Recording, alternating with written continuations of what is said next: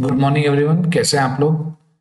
बेटे आज की क्लास में हम लोग स्टार्ट करने जा रहे हैं आपका रियलाइजेशन अकाउंट आज की जो क्लास है that is part second for the dissolution of the partnership firm बेटे लास्ट क्लास में मैंने आप लोगों से बात की थी कि जब हम एक फॉर्म को बंद करते हैं, एक पार्टनरशिप फॉर्म को हम लोग बंद करते हैं तो उसमें हमें अकाउंटिंग किस तरह से करनी चाहिए? लास्ट क्लास में मैंने आप लोगों को कुछ बेसिक्स बताए थे। थोड़ा सा रियलाइजेशन अकाउंट के बारे में बताया था। आज की क्लास में हम रियलाइजेशन अकाउंट बेटे रियलाइजेशन अकाउंट को हिंदी में कहा जाता है वसूली खाता, वसूली अकाउंट यानी कि हम लोग रियलाइजेशन अकाउंट बनाकर एक फर्म की एसेट्स को डिस्पोज ऑफ़ करने की बात करते हैं। लाइबिलिटीज को पे करने की बात करते हैं। और इस सारे प्रोसेस में अगर कोई फ़ायदा या नुकसान होता है तो वो फ़ायदा और नुकसान हम पार्टनर्स के बीच में डिस्ट्रीब्यूट कर देते हैं। इस प्रोसेस को फॉलो करने के लिए हम कुछ स्टेप्स यूज़ करते हैं, जो हम, मैं आपको बताने जा रहा हूँ। आप उन्हें ध्यान से समझें और मैं अभी आपको एक लॉन्ग क्वेश्चन कराऊँगा। उम्मीद है कि उस लॉन्ग क्वेश्चन से आप रियलाइजेशन अकाउंट बना पाएँगे। अगर आपके एग्ज़ाम में रियलाइजेशन अकाउंट आता है तो। आगे आने वाली क्लासेस में मैं आपको कराऊँगा रियलाइजेशन अकाउंट के रिलेटेड जो एंट्रीज होती हैं, जो जर्नल एंट्रीज होती हैं। यानी कि डिजोल्यूशन के चैप्टर में जर्नल एंट्रीज जो होती हैं, वो मैं आपको कराऊँगा। बेटे एग्ज़ाम में फोर टू सिक्स मार्क्स के क्वेश्चन के लिए आपसे रियलाइजेशन अकाउंट भी पूछा जा सकता है और आपसे डिजोल्यूशन की जर्नल एंट्रीज भी पूछी जा सकती हैं। तो चलो देखते हैं कि रियलाइजेशन अकाउंट किस तरीके से बनता है। अगर हम बात करें तो सबसे पहले हमारे पास जो भी एसेट्स हैं, जो भी हमारे पास प्रॉपर्टीज़ हैं, जिन्हें हम अपने बिज़नेस को बंद करते हुए बेच सकते हैं, जिनसे कुछ पैसा मिल सकता है हम उन्हें ट्रांसफ़र कर देते हैं रियलाइजेशन अकाउंट तो सबसे पहला स्टेप क्या होता है? सारी एसेट्स को जो भी हम सेल आउट कर सकते हैं, उन्हें हम उठाकर ट्रांसफ़र कर देते हैं रियलाइजेशन अकाउंट में। सेकेंड स्टेप में हम उन एसेट्स को डिस्पोज ऑफ़ कर देते हैं। डिस्पोज ऑफ़ वर्ड का मतलब केवल बेचना नहीं होता। डिस्पोज ऑफ़ का मतलब है कि आपने उनका किया क्या? हो सकता है आपने उन्हें सेल कर दिया हो। हो सकता है आपने वो एसेट अपने पार्टनर को दे दी हो। हो सकता है वो एसेट आपने अपने लाइबिलिटी होल्डर को दे दी हो। तो डिस्पोज ऑफ़ का मतलब केवल बेचना नहीं है। डिस्पोज ऑफ़ का मतलब है उस एसेट का आपने जो भी पॉसिबल यूज़ किया हो, उसे हम नाम देते हैं डिस्पोज ऑफ़ का। उसके बाद जितनी भी हमारी एक्सटर्नल लाइबिलिटीज होती हैं बेटे एक्सटर्नल लाइबिलिटीज का मतलब होता है, जो भी लाइबिलिटी हम अपनी फर्म के बाहर के लोगों को पे करते हैं। जैसे कि creditors bank loan bank overdraft किसी पार्टनर के फैमिली मेंबर का लोन जैसे as wife's loan B's wife's loan तो इस तरीके से ये सारी लाइबिलिटी हमारे लिए एक्सटर्नल लाइबिलिटीज कहलाती हैं। पार्टनर के लोन को छोड़कर बाकी सब लाइबिलिटी हमारी एक्सटर्नल लाइबिलिटीज होती हैं। एक्सटर्नल लाइबिलिटीज को हम ट्रांसफ़र कर देते हैं रियलाइजेशन अकाउंट में। उसके बाद हमारा नेक्स्ट स्टेप होता है कि जो हमारी एक्सटर्नल और इंटरनल लाइबिलिटी है, यानी कि जो बाहर वालों का पैसा है और जो अपने पार्टनर से हमने अगर कोई लोन लिया हुआ है, हम उसका सेटलमेंट कर देते हैं। पे कर देंगे या पार्टनर उसका पेमेंट कर देगा। तो हम कुल मिलाकर उसको सेटल कर देंगे। नेक्स्ट पॉइंट में अगर हम फॉर्म बंद कर रहे हैं और फॉर्म बंद करने से रिलेटेड कोई भी खर्चा अगर फॉर्म के सिर पर आता है, अगर कोई खर्चा फॉर्म को बियर करना पड़ रहा है डायरेक्टली और इनडायरेक्टली वो भी हम रियलाइजेशन अकाउंट में दिखा देते हैं। लास्ट स्टेप में हम अपने रियलाइजेशन अकाउंट को क्लोज करते हैं और जो भी प्रॉफिट या लॉस हमारे पास आता है, उसे हम पार्टनर्स के बीच में डिवाइड कर देते हैं। आई होप आपको मेरी एक प्रोसेस सिंपल सी समझ में आई होगी। अब हम प्रोसेस के साथ प्रोसेस एक थियोटिकल नॉलेज के लिए बहुत अच्छी है, लेकिन अकाउंट्स का रेलेवेंस तभी बनता है जब हम क्वेश्चन करके देखें। तो अभी मैं आपको कराता हूँ, इसका एक लॉन्ग क्वेश्चन कि किस तरीके से हम रियलाइजेशन अकाउंट बनाते हैं। अब देखिए बेटा, आपकी स्क्रीन पे आप देख पा रहे हैं एक पार्टनरशिप फॉर्म की बैलेंस शीट अब ऐसा ही एक क्वेश्चन आपके एग्ज़ाम में आपको मिलता है और आप इसे सॉल्व करते हैं। तो मैं आपके साथ साथ इसे पूरा सॉल्व करके दिखाऊँगा। देखिए, ये क्वेश्चन होता है और इस क्वेश्चन के साथ ही आपको मिलती हैं कुछ एडजस्टमेंट्स ये कुछ बातें कि हमने कौन सी एसेट कितने में सेल आउट की है, कौन सी लाइबिलिटी का पेमेंट हमने कैसे किया है, इसको मैं आपको भी कराकर बताऊँगा कि इसे किस तरीके से हम करते हैं। और बेटे, मेरा जो प्राइम फोकस है, वो केवल रियलाइजेशन अकाउंट पर है। बनाने को पार्टनर्स कैपिटल अकाउंट भी बनाया जाता है कैश और बैंक अकाउंट भी बनाते हैं। उन्हें मैं अपकमिंग क्लासेस में बोर्ड को ध्यान में रखते हुए अगर टाइम मिला तो वो क्लासेस भी मैं आपको दूँगा। ठीक, फ़िलहाल हम सबसे ज़्यादा प्रैक्टिस रियलाइजेशन अकाउंट की करें, क्योंकि तो एग्ज़ाम में सबसे ज़्यादा रियलाइजेशन अकाउंट का एक सेपरेट क्वेश्चन बहुत बार पूछा जाता है। तो चलिए आते हैं इसके सॉल्यूशन पर। आप देख पा रहे होंगे, आपकी स्क्रीन पे यहाँ पर आपको पूरा क्वेश्चन दिखाई दे रहा है और साथ ही साथ यहाँ पर हम इसको सॉल्व करने की बात करेंगे। तो सबसे पहले आते हैं, पूरी बात को समझते हुए मैंने आपको बताया था अभी कि बेटे सबसे पहले हम अपनी एसेट्स को रियलाइजेशन अकाउंट में ट्रांसफ़र करते हैं। तो आप देख पा रहे होंगे, यहाँ पर लिखा है land and building plant and machinery furniture bill receivables debtors debtors के ऊपर प्रोविज़न डाउटफुल डेट्स के लिए ए का लोन बेटे ए का लोन अगर एसेट साइड में है दैट मीन्स हमने अपने पार्टनर ए को लोन दिया हुआ है करेक्ट हमें उससे पैसे लेने हैं, ठीक है? तो यूजुअली हम ए लोन को, देखिए, जब हमने ए को पैसे दिए हुए हैं तो हम यही पैसे हम उसके अकाउंट में से डिडक्ट कर लेते हैं।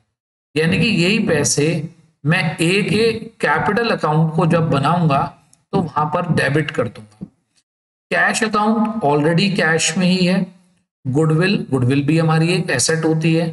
पेटेंट भी हमारी एक एसेट होती है। पी एंड एल अकाउंट का डेबिट बैलेंस फ़िलहाल इस क्वेश्चन में नहीं है। अगर होता भी तो ये लॉस होता। और लॉस बेटे कभी बिक नहीं सकता। लॉस कभी सेल आउट नहीं होता।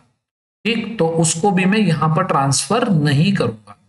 तो जिससे कुछ रियलाइज़ नहीं हो सकता, उसे मैं यहाँ पर ट्रांसफ़र नहीं करूँगा। इन्वेस्टमेंट बिल्कुल इससे रियलाइज़ हो सकता है। एडवर्टीजमेंट सस्पेंस भी एक लॉस होता है। उसको भी मैं यहाँ पर ट्रांसफ़र नहीं करूँगा। ये कहाँ पर चले जाएँगे? ये पार्टनर्स कैपिटल अकाउंट के डेबिट साइड में चले जाएँगे। ये यहाँ पर नहीं आएँगे। एक आपको मैं एक लॉजिकल सी बात बताता हूँ। अगर हम लाइबिलिटीज और एसेट्स की बात करें तो जो लाइबिलिटीज होती है, ये क्रेडिट साइड होती है और जो एसेट होती है, ये डेबिट होती है। ठीक? अब एसेट्स का डेबिट का बैलेंस है तो यहाँ पर कहा शिफ्ट करेंगे आप? पूरी की पूरी एसेट ये जो जिन पर भी मैंने टिक लगाया, उन सबको आप यहाँ पर एज इट इज़ ट्रांसफ़र कर देंगे। Land and building land and building है आपकी फिफ्टी सिक्स थाउज़ेंड उसके बाद आपकी नेक्स्ट आइटम है plant and machinery plant and machinery forty six thousand next आते हैं। उसके बाद है फर्नीचर एंड फिटिंग्स उसे भी हम एज इट इज़ ट्रांसफ़र कर देंगे टेन थाउज़ेंड उसके बाद हम आते हैं बिल रिसीवल पे। तो to bills receivable as it is transfer कर देंगे आप। फिफ्टीन थाउज़ेंड अब यहाँ पर एक छोटी सी बात मुझे आपको बतानी है। देखिए, जब भी आपको यहाँ पर डेटर्स दिखाई दे और डेटर्स का प्रोविज़न दिखाई दे प्रोविज़न हमेशा लेस हो रहा होता है। तो बेटे डेटर्स तो आप हमेशा यहाँ पर ही शो करेंगे। तो डेटर्स है एटीन थाउज़ेंड और उसका जो प्रोविज़न है प्रोविज़न को हम क्रेडिट साइड में शिफ्ट कर देते हैं। तो प्रोविज़न है हमारा कितना? थ्री थाउज़ेंड इसका बेटे लॉजिक क्या है? देखो, हमारे डेटर तो एटीन थाउज़ेंड के ही ऐसा नहीं है कि प्रोविज़न बना लिया तो हमारे डेटर कम हो गए। मान लो मैंने आपसे एटीन थाउज़ेंड रुपीज़ लेने मैं मानकर चल रहा हूँ, आप मेरे थ्री थाउज़ेंड नहीं दोगे। लेकिन फिर भी, मैं आपसे कॉल तो पूरे एटीन का ही करूँगा ना। मैं आपसे मांगने तो पूरे एटीन ही जाऊँगा। तो पी एफ़ डी डी को हम हटा देते हैं साइड में। एज लोन नहीं आएगा कैश नहीं आएगा। बेटे गुडविल बिल्कुल आएगी। गुडविल एक इनटेंजिबल एसेट है। तो गुडविल यहाँ पर बिल्कुल आएगी, सौ परसेंट आएगी। क्योंकि तो जब बिज़नेस बंद होता है तो बेटे उस टाइम पर हम अपनी गुडविल भी सेल आउट कर देते हैं। क्या पता उससे भी कोई पैसे मिल जाए। तो ये भी बिल्कुल आएगा, हमारा गुडविल आती है। उसके बाद पेटेंट्स पेटेंट्स भी एक इनटेंजिबल एसेट है। पेटेंट्स भी यहाँ पर ज़रूर आएगी। तो पेटेंट्स भी हमने यहाँ पर लिख दिया टेन थाउज़ेंड रुपीज़ करेक्ट उसके बाद आगे देखते हैं इन्वेस्टमेंट बिल्कुल आएगा इन्वेस्टमेंट यहाँ पर। आई होप यहाँ तक की बात आपको समझ में आ रही है। इन्वेस्टमेंट ट्वेंटी थाउज़ेंड रुपीज़ तो आपने क्या करा? जो भी एसेट सेल आउट हो सकती थी, उन्हें आपने यहाँ पर डेबिट साइड में ट्रांसफ़र कर दिया अपने कौन से अकाउंट में? रियलाइजेशन अकाउंट में। तो ये हमारा रियलाइजेशन अकाउंट और इसकी डेबिट में हमने यहाँ से एसेट्स ट्रांसफ़र कर दी। अब आते हैं इधर वाली साइड बेटे, जो भी हमारी एक्सटर्नल लाइबिलिटीज हैं एक्सटर्नल का मतलब क्या होता है? बाहर की लाइबिलिटी पार्टनर के लोन को छोड़ता। क्रेडिटर्स हमने यहाँ पर लिख दिए by creditors creditors ten thousand rupees a B's wife loan बेटे बी की वाइफ का लोन जो है बी की जो वाइफ है, हमारे लिए वो एक एक्सटर्नल पर्सन है, एक बाहर का पर्सन है। ऐसा नहीं आप लोगों को लगे, नहीं नहीं, ये तो बी की वाइफ है, ये तो घर वाली बात है। बेटे, किसी से घर वाली कोई बात नहीं होती। फॉर्म के लिए सब आउटसाइडर है। आउटस्टैंडिंग एक्सपेंसेस तो आउटस्टैंडिंग एक्सपेंसेस ठीक है, थोड़ा सा ना एग्ज़ाम में थोड़े अटेंटिव रहते हैं कि हम क्या कर रहे हैं। उसके बाद आता है वर्कमैन कंपनसेशन बेटे वर्कमैन कंपनसेशन ना हर चैप्टर का स्टार टॉपिक है। वर्कमैन कंपनसेशन में बच्चे बड़े कंफ्यूज रहते हैं हमेशा से। आपको आगे चलकर मैं एक बिल्कुल डिफरेंट वीडियो दूँगा, जिसमें मैं आपको वर्कमैन कंपनसेशन रिज़र्व का ट्रीटमेंट हर एक चैप्टर में अलग बताऊँगा कि एडमिशन में क्या होता है रिटायरमेंट में क्या होता है डेथ में क्या होता है डिजोल्यूशन में क्या होता है, क्योंकि इस पे पक्का है क्वेश्चन आता ही आता है, आपको मिलेगा यहाँ कोई छोटा क्वेश्चन ज़रूर। तो देखिए वर्कमैन कंपनसेशन रिज़र्व की एक बात समझिएगा बहुत ध्यान से। अगर वर्कमैन कंपनसेशन के रिगार्डिंग नीचे कहीं कोई लाइबिलिटी दे रखी है अगर नीचे इसके बारे में कुछ बोला है, कहीं नीचे इन एडजस्टमेंट्स में डब्ल्यूसीआर के ऊपर कोई लाइबिलिटी आई है तो तो ये रियलाइजेशन में आएगा। अदरवाइज़ ये पार्टनर्स कैपिटल अकाउंट में आएगा। तो दो बातें होती हैं, अगर इसके लिए कोई लाइबिलिटी है तो रियलाइजेशन में, और अगर इसके लिए लाइबिलिटी नहीं है तो पार्टनर्स के बीच में डिस्ट्रीब्यूट हो जाएगा। तो अब आप देखिए, ये यहाँ पर हमने अगर अपना क्वेश्चन चेक करा तो बेटे मुझे यहाँ पर कोई भी लाइबिलिटी इसके बारे में दिखाई नहीं दे रही। तो यानी कि ये कहा जाएगा? ये आ जाएगा पार्टनर्स कैपिटल अकाउंट के क्रेडिट साइड में। पार्टनर्स के बीच में डिस्ट्रीब्यूट हो जाएगा। As like in the case of admission retirement उन सब में भी यही होता है। आई एफ़ आर बेटे आई एफ़ आर के बारे में आराम से मेरी बात सुन लीजिएगा। आई एफ़ आर हमेशा रियलाइजेशन अकाउंट में ही आएगा। क्योंकि इन्वेस्टमेंट यहाँ पर होगी तो उसके अगेंस्ट आई एफ़ आर यहाँ होगा। अब कई बार बच्चे पूछते हैं कि, सर, ये बताओ, अगर इन्वेस्टमेंट इधर है तो आई एफ़ आर इधर आएगा, ठीक है? वन परसेंट बताइए कि इन्वेस्टमेंट ना हो तो। तो बेटे, मेरा अगला सवाल ये होता है कि अगर इन्वेस्टमेंट ही नहीं होगी तो कोई आई एफ़ आर क्यों बनाएगा? काम खाम है, नहीं ना? तो बेटे डिजोल्यूशन में आई एफ़ आर ज़रूर होगा जब इन्वेस्टमेंट होगी। चलो वन परसेंट मान लेते हैं कि, सर इन्वेस्टमेंट नहीं आई, खाली आई एफ़ आर आ गया। तो फिर बेटे, जैसे डब्ल्यू सी आर डिवाइड हो गया, ऐसे आई एफ़ आर भी क्या हो जाएगा? पार्टनर्स के बीच में डिवाइड हो जाएगा। आई होप क्लियर है यहाँ तक की बात। बीज लोन बेटे, इसके लिए एक अलग अकाउंट बनेगा। इसका आप अलग से अकाउंट बनाएँगे। ठीक है? ये यहाँ पर जो ट्रांसफ़र होती है, ये होती है एक्सटर्नल लाइबिलिटी बाहर वालों का पैसा। पी एंड एल अकाउंट बेटे, ये पार्टनर्स कैपिटल के कहा जाएगा क्रेडिट साइड में आ जाएगा। ये अनडिस्ट्रीब्यूटेड प्रॉफिट है। कैपिटल कैपिटल अकाउंट में आ जाएगा। तो आपको मेरी क्या बात समझ में आ गई कि सर हमने एसेट्स यहाँ पर ट्रांसफ़र कर दी लाइबिलिटीज हमने क्रेडिट साइड में ट्रांसफ़र कर दी। This is credit side this is debit side तो पहले आपको मेरी ये बात बिल्कुल अच्छे से समझ में आनी चाहिए। अच्छा आप यहाँ गलती क्या कर सकते हैं? कोई ऐसी एसेट जैसे ये था P and L account advertisement आप गलती से यहाँ डाल देते हैं। करेक्ट भाई, यही गलती हो सकती है बेटे आप लोगों से। तो आपको कई थोड़े थोड़े ना छोटे छोटे क्वेश्चन एक बार आप प्रैक्टिस कर लो। केवल कौन कौन सी एसेट ट्रांसफ़र की हुई है? वैसे पूरा ईयर पढ़ने के बाद बच्चों को काफ़ी कुछ सुन लेते हैं बच्चे टीचर की उनको आ जाती है बात समझ में। तो बेटे कुछ चीज़ें जो आपको भी पता है यार एडवर्टीजमेंट सस्पेंस ये वो खर्चा है जो अब तक हमने राइट ऑफ़ नहीं करा। तो इसको आप अपनी एसेट कैसे मान सकते हो? पी एंड एल अकाउंट लिखा तो पी एंड एल का लॉस होता है यहाँ पर तो लॉस को अपनी एसेट कैसे मान सकते हो? ठीक है? कैश तो ऑलरेडी कैश में पार्टनर का जो लोन है, वो हम उसके अकाउंट से काट लेंगे तो उसको एसेट में डालने की ज़रूरत नहीं होती। आई होप यहाँ तक की बात आपको क्लियर होगी। ठीक? तो पहला काम हमने कर लिया, हमने एसेट और लाइबिलिटीज को यहाँ पर ट्रांसफ़र कर दिया। अब जो मैं करने जा रहा हूँ, बहुत ही ध्यान से सुनिएगा, बहुत ही ध्यान से देखिएगा। अब हम आगे करेंगे क्या? आप सोचिए, अगर आपकी एक दुकान होती और आपको दुकान बंद करनी होती तो आप क्या करते? पहले आप अपनी सारी एसेट्स इकट्ठी करते, अपनी प्रॉपर्टीज़ इकट्ठी करते। देखते आपके पास क्या क्या है बेचने के लिए, और फिर आप उन्हें बेच देते। बेच देते, किसी को दे देते, किसी पार्टनर को दे देते, उन्हें आप खत्म कर देते।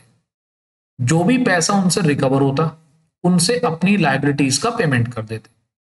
अगर पैसे बच जाते तो आप अपने घर ले जाते और अगर पैसे कम पड़ जाते तो आप अपने घर से लेकर आ जाते। क्योंकि पार्टनरशिप में अनलिमिटेड लाइबिलिटी होती है। अगर आपके पास फर्म की एसेट्स इनफ नहीं है to pay off the liabilities of the firm तो ऐसे में आप लोगों को अपने घर से पैसे लाने पड़ते हैं। अब हम आते हैं इसकी एडजस्टमेंट्स पर। बहुत ही ध्यान से पढ़ेंगे। पहली एडजस्टमेंट और बेटे मेरी आपको देखो सजेशन ये land and building realise for sixty thousand अब एक और छोटी सी बात। ट्रुथ है, लेकिन थोड़ा सा बिटर है, कड़वा सच है। ईयर के बिल्कुल एंड पे आकर यूट्यूब पे बैठकर क्लासेस देखने की ज़रूरत उन बच्चों को पड़ती है, जो या तो रिवाइज कर रहे होते हैं, या जो लास्ट मिनट प्रिपरेशन कर रहे होते हैं, जिन्होंने पता नहीं भैया पूरे साल क्या पढ़ा है हमने, चलो एक काम करते हैं रिवाइज कर लेते हैं। करेक्ट तो सिंपल सी बात कि बेटे, अब ये बिल्कुल एंड टाइम आ चुका होता है बच्चों का और इस टाइम पर आपको बड़े ध्यान से पढ़नी चाहिए चीज़ें। अब आपके लिए एक बात बताता हूँ, कोई भी टीचर आपको कैसे ही बताए, आप इनमें से हर पॉइंट को अलग अलग डील करना। आप ये मत सोचना कि एक काम करता हूँ, जहाँ जहाँ एसेट बेची जा रही है, सारी को सबको एक साथ क्लब कर दूँ, कुछ नहीं। एक एक पॉइंट पढ़ो एक एक पॉइंट का यहाँ पर ट्रीटमेंट करो। ताकि अगर सपोज़ करो, कोई दूसरा पॉइंट गलत भी हो जाए तो एटलीस्ट पहले वाले पर उसका इंपैक्ट ना पड़े। अब आराम से सुनिए। ये जो एसेट है, इनका मैं क्या कर सकता हूँ? या तो मैं इन्हें नगद में बेच सकता हूँ, या मैं किसी पार्टनर को दे सकता हूँ, या मैं किसी लाइबिलिटी होल्डर को दे सकता हूँ। तो ऐसा ही कोई यूज़ यहाँ पर लिखा हो। Land and building realise for sixty thousand तो मैंने देखी, बिल्कुल ध्यान से देखी ये रहा land and building realised realise मतलब नगद में पैसे है। तो मैंने यहाँ लिखा बाय कैश ब्रैकेट में अपने समझाने के लिए लिख दिया लैंड एंड बिल्डिंग करेक्ट और यहाँ पर टिक भी लगा दिया कि मेरा लैंड एंड बिल्डिंग बिक गया। अगले पॉइंट पर आते हैं। Furniture taken by B at fifteen thousand अब है फर्नीचर फर्नीचर बी ने ले लिया। तो बेटा यहाँ लिखो बाय बीज कैपिटल तो यानी कि अगर कैश में चला गया तो बाय कैश लिख दो। और पार्टनर ले गया तो पार्टनर का नाम लिख दो। और अगर कोई लाइबिलिटी होल्डर ले जाए, मान लो ये है फर्नीचर और ये है क्रेडिटर क्रेडिटर कह रहा है, मेरे को दे दो फर्नीचर तो उसकी कोई एंट्री मत बनाना, कोई भी एंट्री मत बनाना उसकी। क्लियर वो आपस में अपने आप कैंसिल हो जाते हैं। बीज कैपिटल तो बी कितने में ले गया फर्नीचर फिफ्टीन थाउज़ेंड में। तो बेटे मैंने यहाँ लिख दिया fifteen thousand hope clear third point debtor and bill bills realise at ten percent less than the book value बेटे, ये रे तुम्हारे बी आर और ये रे तुम्हारे डेटर दोनों की वैल्यू बैठी थर्टी थ्री थाउज़ेंड और दस परसेंट कम पर रियलाइज़ हुए तो आप देखिए थर्टी थ्री थाउज़ेंड है। दस percent come that means thirty three hundred कम। तो कितना बचा? ठीक? Twenty nine thousand seven hundred तो बेटा ये दो चीज़ें मैंने यहाँ लिख दी बाय कैश डेटर और बी आर ठीक है जी? और ये बी क्या ले गया था? फर्नीचर करेक्ट अच्छा जी ten percent less than the book value तो यानी कि twenty nine thousand seven hundred the fourth point is patent realised at book value patent कहा है हमारी पेटेंट ये रही। Patent realise at book value मतलब जितने की थी, उतने में ही सेल आउट हो गई। पेटेंट्स पेटेंट्स हमारी रियलाइज़ हुई हैं बुक वैल्यू पर। तो बेटे पेटेंट की बुक वैल्यू कितनी है? टेन थाउज़ेंड तो कितने पर रियलाइज़ हो गई? Ten thousand clear next point पे आते हैं। Investment were taken by A at twenty percent more than the book value बेटे इन्वेस्टमेंट कहाँ पर है? ये रही। अब इन्वेस्टमेंट किसने टेक ओवर कर ली? ए ने। तो मैंने यहाँ पर लिख दिया एज कैपिटल इन्वेस्टमेंट ठीक है? Twenty percent more than the book value बेटे ट्वेंटी थाउज़ेंड का ट्वेंटी परसेंट हो गया फोर थाउज़ेंड तो उसने हमारी इन्वेस्टमेंट टेक ओवर कर ली ट्वेंटी फोर थाउज़ेंड क्लियर है यहाँ तक की बात भी?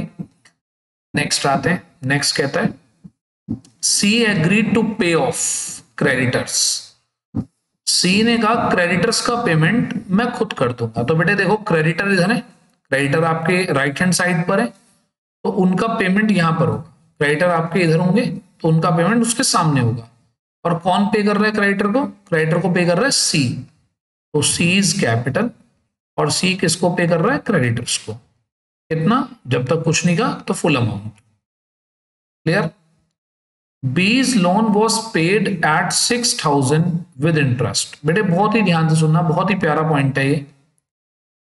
देखिए, मैंने आपको भी बोला था कि जो पार्टनर का लोन है, उसका अकाउंट अलग से बने। अब ये देखिए कि पार्टनर का जो लोन था, वो था फोर थाउज़ेंड का। और अगर मैं उस फोर थाउज़ेंड के लोन लोन का पेमेंट सिक्स थाउज़ेंड में करूँ तो ऑब्वियस सी बात है, मेरी फर्म को क्या होगा? नुकसान होगा।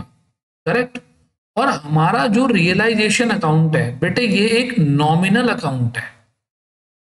कौन सा अकाउंट है ये? नॉमिनल अकाउंट मतलब अगर आपको देखो, जो चीज़ आपने यहाँ पर डाल दी इस अकाउंट के अंदर, उसका लॉस गेन तो अपने आप एडजस्ट हो जाएगा, लेकिन जो चीज़ आपने यहाँ पर नहीं डाली कहीं और है। ठीक? आपने बीज लोन में डाल दिया उसको। लोन अकाउंट अलग से बना दिया है। अगर आप उस पर कोई भी आपको लॉस हो या गेन हो तो वो इसी अकाउंट में आएगा। तो अगर फोर थाउज़ेंड के बदले आप सिक्स थाउज़ेंड पे कर रहे हो तो फर्म को हो रहा है टू थाउज़ेंड का लॉस तो बेटे वो लॉस भी यही लिखा जाएगा। बीज लोन के बारे में। ये मोस्ट इंपॉर्टेंट पॉइंट है। और अगर सपोज़ करिए आप बी को इससे कम पैसे देते, आपको फ़ायदा होता तो आप यहाँ दिखाते ठीक है? आपको एक तरीके से उसको पेमेंट करने में दो हज़ार का क्या हुआ? नुकसान। अगला देखिए A appointed to take over the dissolution take care of the dissolution of the firm और इसके लिए उसको दस हज़ार रुपए हम क्या दे रहे हैं? रेम्यूनरेशन और उसे हमने कह दिया कि भाई, सारे खर्चे तुम खुद उठाओगे। तो ठीक है भाई फॉर्म का खर्चा हो रहा है, और फॉर्म किसको दे रही है? ए को। तो हमने यहाँ पर लिख दिया as capital ten thousand rupees कायदे में हमने अपनी बैलेंस शीट शिफ्ट भी कर ली, हमने आइटम्स भी यहाँ पर देख ली आइटम्स को यहाँ हमने सेटल भी कर दिया। लेकिन एक बात, अभी यहाँ पर कुछ ऐसी चीज़ें हैं, आप देखिएगा ध्यान से। बेटे, बहुत ही बढ़िया पॉइंट बताने जा रहा हूँ प्लीज़ ध्यान से समझिएगा। ठीक और यहाँ पर एक मिनट देखते हैं। अगर आप देखें हमने land and building furniture debtor patent investment ठीक। इन सब की बातें कर ली।